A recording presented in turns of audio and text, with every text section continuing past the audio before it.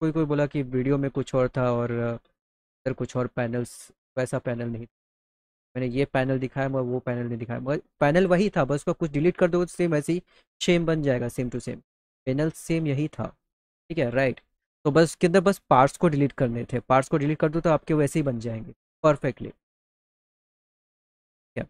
तो अभी इसके अंदर कुछ लोगों बोला था, ये तो सिर्फ़ आपने इतना बनाया मगर जाके हमें चाहिए था कि जैसा उधर पे थोड़ा सा कटा हुआ था, थोड़ा ब्रेक वाला पार्ट था, उस टाइप का हमें चाहिए, ठीक है? तो वैसा कुछ चाहिए तो उसके लिए क्या है तो देखो, एक चीज़ हम लोग कर सकते हैं, इसका मैं कॉपी कर लेता हूँ। ये है कंप्लीट सारी चीज़ों का तो एक कॉपी बना लेते हैं यहाँ पर, राइट? ताकि तो मैं, अगर मैं इसकी बाउंड्री को ही डिलीट कर दूँ अगर एक बार, फिर अभी एक्सट्रूट करके देखो तो ये अभी इस तरह का एक शेप देखो बन गया। सिर्फ़ बाउंड्री निकालने से ही ये शेप हमारे पास रेडी आ गया। ठीक है, हम लोग को ये वाला शेप कौन सा है? ये शेप भी मैं आपको क्लियर कर दूँ, ये शेप होता है जो ये वाला है, ये जो है ब्लॉक्स ब्लॉक्स ब्लॉक्स ब्लॉक इसके अंदर अंदर आपको लाइन्स नहीं दिख रही है, ये ब्लॉक्स है, ये ब्लॉक्स है। समझ गए? अभी बोलोगे, ये कैसे कटा हुआ है? तो ये काटने का ज़्यादा कुछ है नहीं। जैसे कि अभी ये ये तो पूरा फील है, राइट?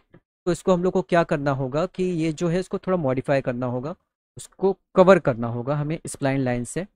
जैसा मेरे को शेप गेप चाहिए, गैप चाहिए जैसा, के हिसाब से हमें इधर पे एक लाइन क्रिएट करनी पड़ेगी, एक लाइन।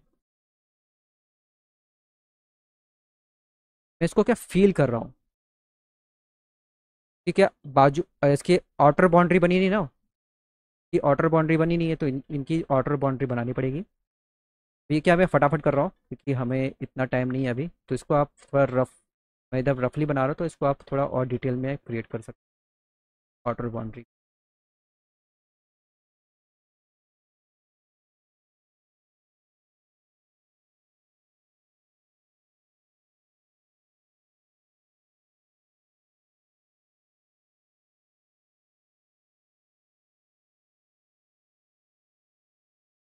हमारी यहाँ पर इसकी बाउंड्री ये फिनिश।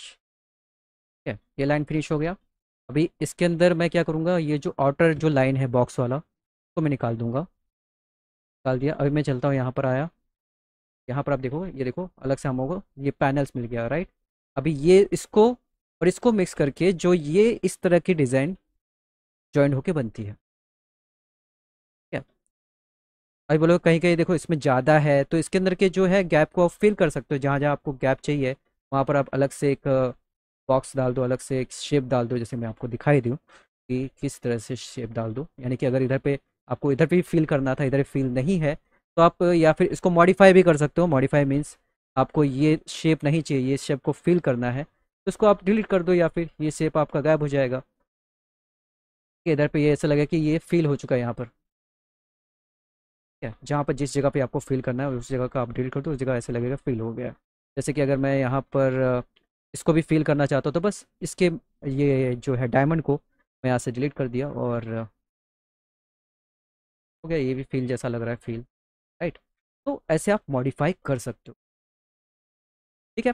तो ये आपको बता दिया कि किस तरह से ये इसका कंप्लीट समझ लो ये पार्ट टू वाला वीडियो हो गया आपका। यानी कि जो पहले जो मैंने आपको बताया था, इसमें आपको ये डिटेल में बता दें कि ये इस तरह से इस शेप को कैसे डीपली काम किया जाता है, कैसी इस तरह के शेप को बनाए जाते हैं। बाकी ये देखो जो जॉइंट्स हैं, इनको यहाँ आप फैला दो थोड़ा बहुत इधर पे तो सेम वही शेप्स क्रिएट हो गया। पिक्सी डॉट कॉम यहाँ मिलते हैं आपको three model scene fire texture और ट्यूटोरियल्स और भी जानने के लिए इस वीडियो के डिस्क्रिप्शन में इसका लिंक दिया हुआ है, आप वहाँ पर जाके आप विज़िट कर सकते हो।